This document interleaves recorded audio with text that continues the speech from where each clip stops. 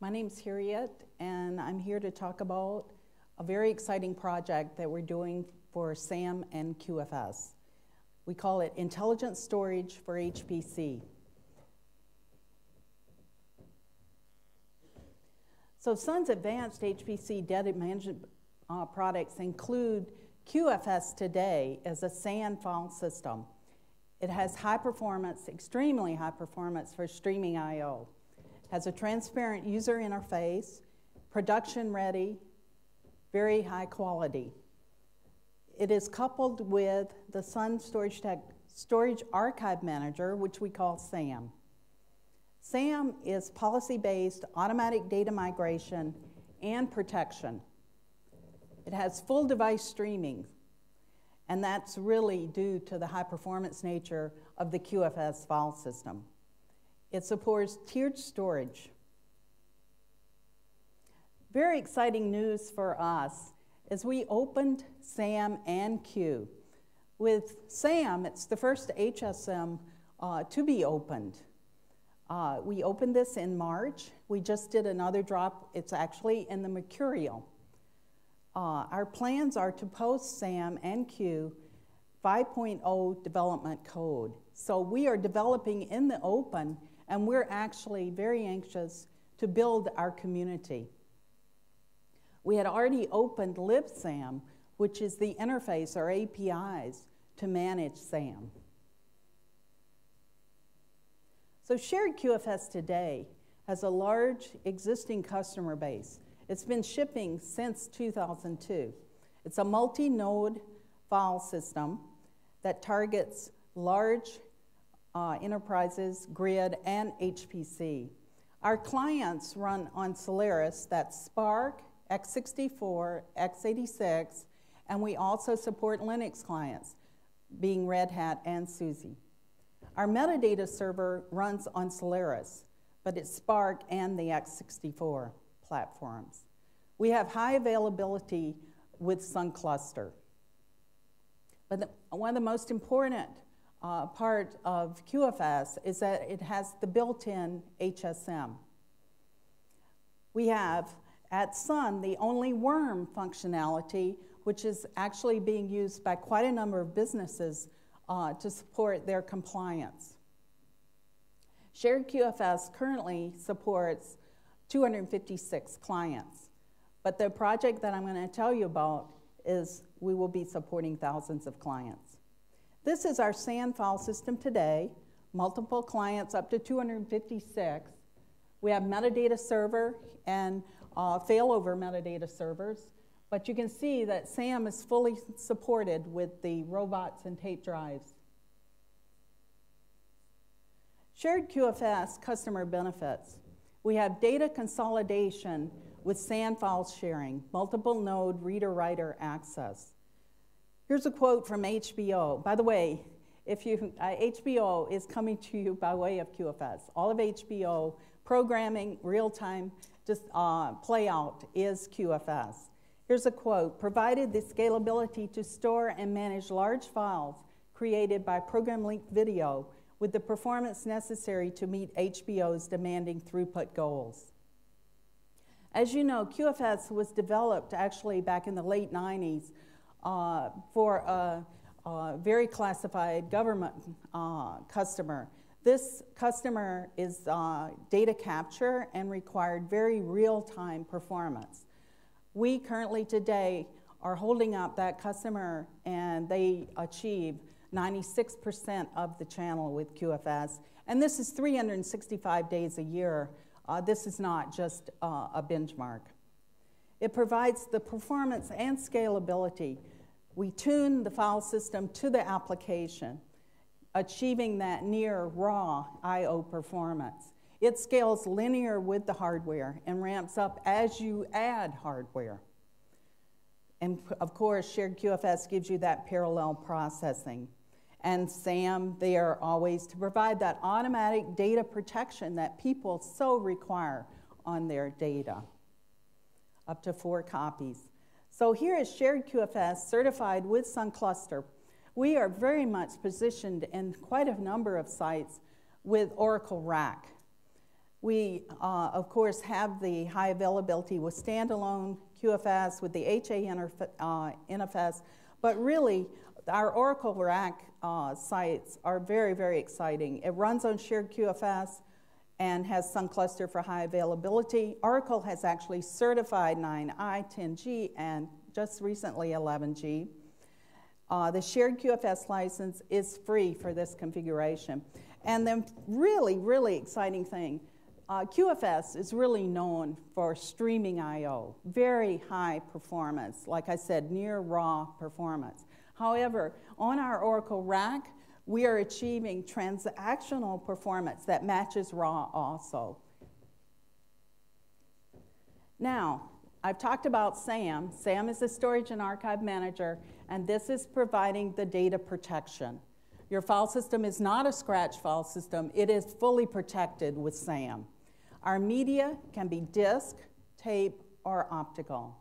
We support local and remote copies, and our classification to group the data is very strong. You can group that data with path, owner, group, size, wildcard, and last access. Our media format is TAR, and this is an open format. It was the best decision we ever made to, to write in an open format. There's no vendor lock in here. But one of the other fallouts that's very good about TAR is SAM is extremely good for small files because we're containerizing those small files into a large tar file so that we can stream those tapes. The last thing you want to do is stop a tape. We keep all data available, but not on high cost, high cost storage. So that data moves across those tiers of storage according to access. We have on demand transparent file retrieval, and most important, we're continuously backing up your data, continuously protecting your data, and this has no applica- the application doesn't have to do anything. This is completely automatic. For our policy based SAM processes, we transparently archive from the disk cache with time based archiving. We manage the disk cache with a high and low threshold and keep that uh, uh, based on policies, and we automatically stage that data back from the media on access, although we have options to pre-stage, and we have options to bypass the disk cache and go directly to the application buffer. And of course, we're recycling our media by repacking it. Now, you heard a little bit from Peter uh, Bojanic about the data mover. We are at TACC, we're at ARCS, uh, we're at uh, KISTI. This is using SAM as a long time retention and archive with a data mover where uh, the data is, we actually install our Linux client on a Lustre uh, Linux client and, and we access the data directly without going over a network. And this gives very high performance. Chris Wood will be talking more about this architecture. In the TACC, we have five StorageTek 8500s. This is the large uh, robot, uh, 48 of the T10K disk uh, tape drives, and uh, very uh, uh, the StorageTek 6540 RAIDs. Most important about SAM is our archives are open. Our media format is not proprietary. So your files can be recovered from those archives written by SAM even without SAM, because you can read them. The most important thing about an HSM is the metadata about the data is also on the archives. If you should happen to lose your metadata dumps, you can still recover your data.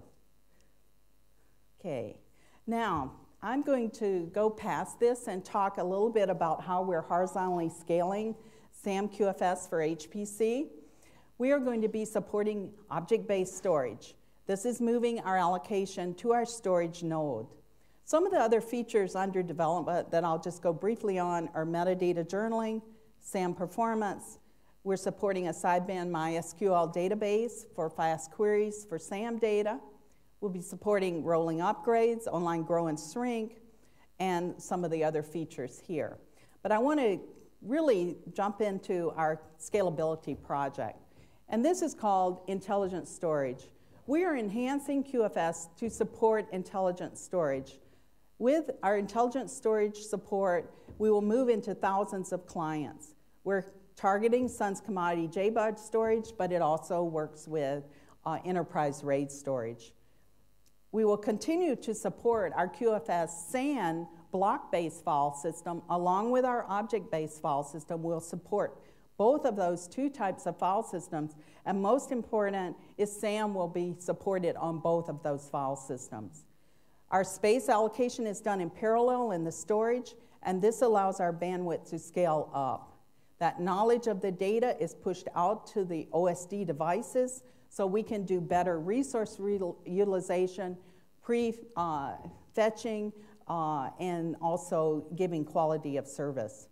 Our current roadmap is to include releasing shared QFS with object-based storage end of this year in an open uh, Solaris HPC distro. So some of those features that will be there in, of course, our metadata caching is full supported on the client, so our metadata ops, we've measured over 185,000. This includes opens, removes stats. Our storage, we support storage pools to group like storage. Storage pool is completely selectable. You can have fiber channel disk and SATA disk in two different pools, and we'll stripe around only uh, liked storage. You can set the depth and the width. We support paged and direct I.O. in our clients. And of course, we support ACLs, clients, um, quotas, uh, failover. We really are a POSIX parallel file system with built-in archive.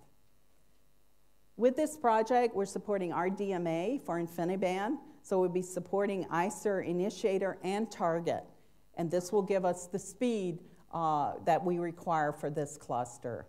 This is a picture of our uh, scalable QFS using OSD-based storage.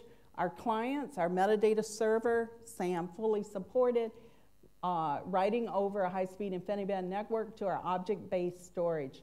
We will be running QFS in the uh, clients and on the object storage.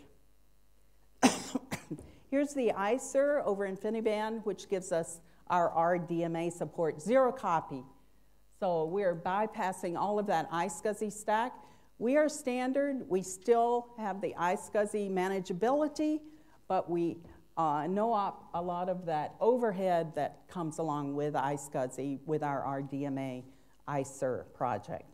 So here's the components of our project. We have shared QFS enhanced to support the ANSI standard uh, OSD protocol. We have a new file system type.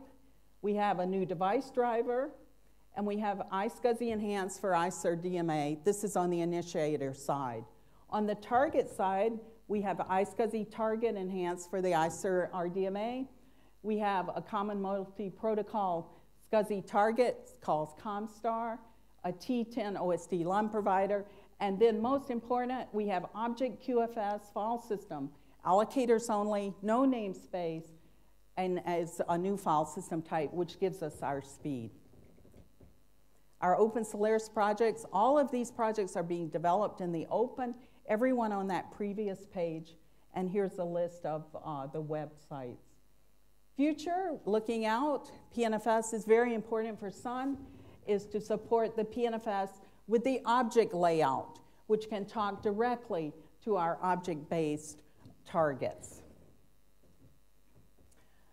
I want to uh, end here by saying you're all welcome. We're having a BOF on uh, Wednesday, June 18th from 3 to 4, and we'd like you to come, feel free to ask a lot of questions and, and deep dive on a lot of the stuff that we're doing. Thank you. Thank you,